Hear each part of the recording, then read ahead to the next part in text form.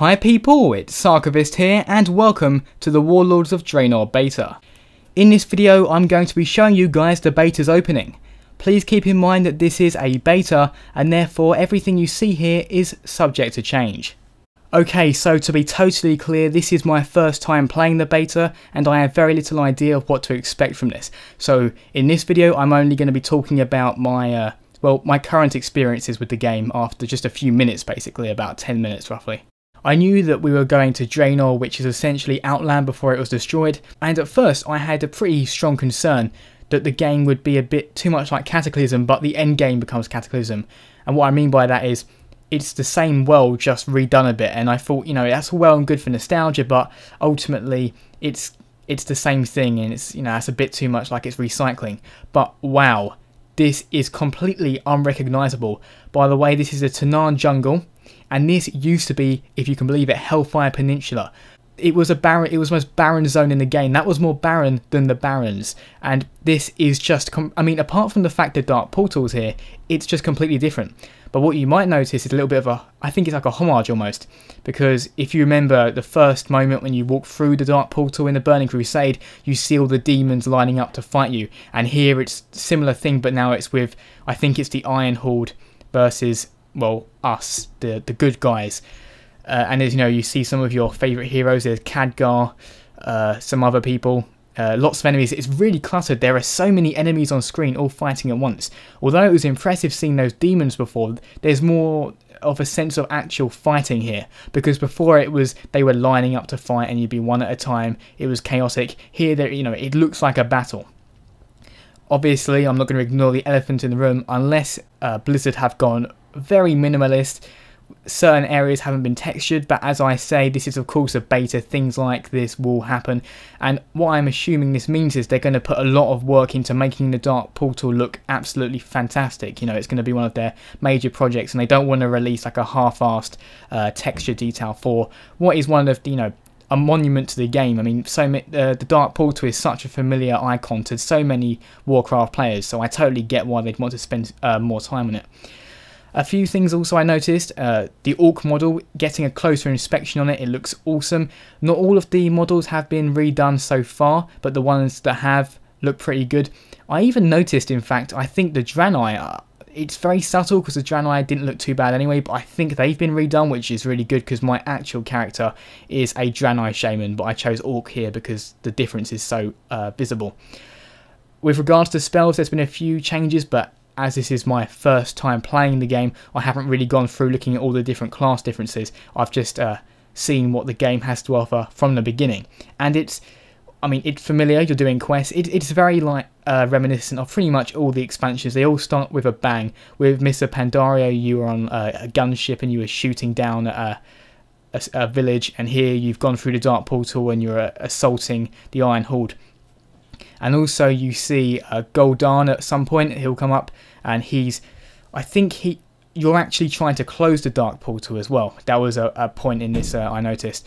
I didn't uh, pay attention to too many plot points because weirdly enough, although I want to show the beta off to you guys, at the same time I kind of don't want to spoil some certain things for me, so I've been deliberately a little vague with these major plot points. I might uh, pay more attention to some minor quests but I want to have a, you know a fresh experience when I actually play the game properly for the first time as well.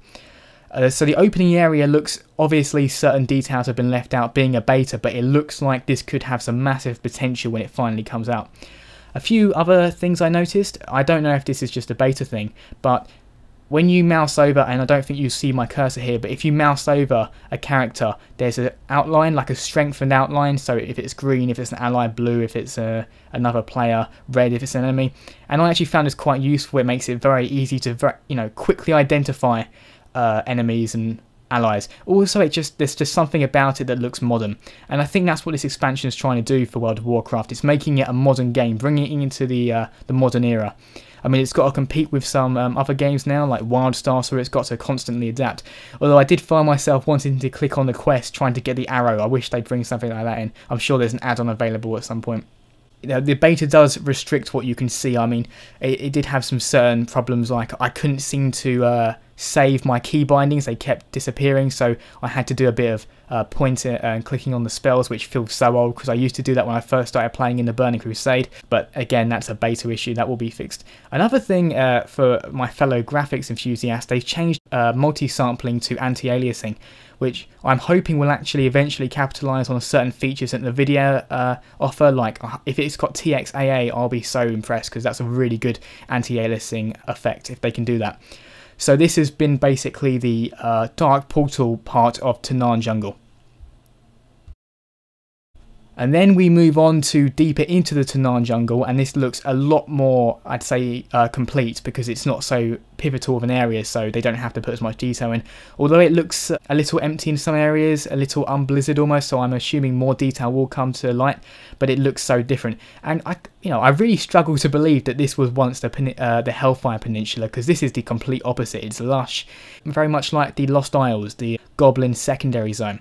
Uh, I quite liked it there was a, you might see this at some point, for some reason there was an error coming up whenever I did a quest objective. I don't know why, because the quest objective was being completed. Uh, also, you'll uh, notice perhaps my lava burst, if you've been playing as Shaman recently, the spell effect is actually more intricate. When of Pandaria came out, I'm almost certain they made the spell effects less, uh, I guess, dynamic, less intricate, as I say. I think they've gone back to what it was like before now, so they've gone back to that really good look. So Lava Burst is teeming with detail, and I actually haven't even turned the settings all the way up here. This is just on high, by the way. Only thing I've actually turned on is VSync because no one wants to see, uh, see screen tearing.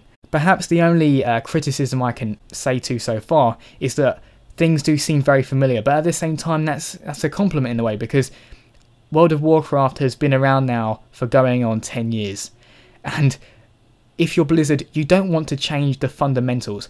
And there is almost something, I know, uh, warmly familiar about just going around killing a few enemies and, you know, ticking them off one by one, taking them down. There weren't too many differences I could tell to the Shaman class. I play it simply because it's the one I've got on the live server. Uh, I, I, couldn't tell too many differences other than the uh, aforementioned Lava Burst graphical increase, and I'm sure that probably applies to plenty of other classes. I'm really hoping, and I'll check this actually, I'm really hoping they've made the mage spells look better because they look really outdated to be honest. And you know, they're doing certain things to improve the graphics with the new models, which look excellent. Uh, um, and I'm hoping spell effects will come along as well. But generally, the Tanaan jungle, from what I've seen so far, and I will continue to play, so look out for that. It seems pretty fun, it's a pretty decent looking zone. Oh, by the way, I couldn't fly at the beginning, although I am mounting um, a flying mount, you can't get off the ground, you know, it's limited to using the ground, so I think they're doing that again, which is good because although it's well and good to fly, if you can just soar over all the obstacles at the beginning, it makes the game a little too easy and you're not really appreciating how Blizzard wanted you to see the game from the ground. So I can see why they've done that, and they've done it pretty much every expansion. So this was my first look at the Warlords of Draenor beta. I really hope you've enjoyed it, and please come back for more if you want to see more. As always people, thanks very much for watching and see you next time. Subscribe to the Archivist 42 channel for gaming top 5s, reviews and more.